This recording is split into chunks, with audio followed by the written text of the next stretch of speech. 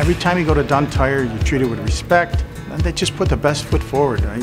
and I've gone to them for years. They don't high pressure you, that's what I like. They try to fit you in the tire that's best for you. I feel they respect you when you go in there, and they don't try to push you into tires you may not need, and they'll even tell you how much time you have left on a certain amount of, on your particular tires. You know, it's just no pressure. I like the fact that there's no pressure.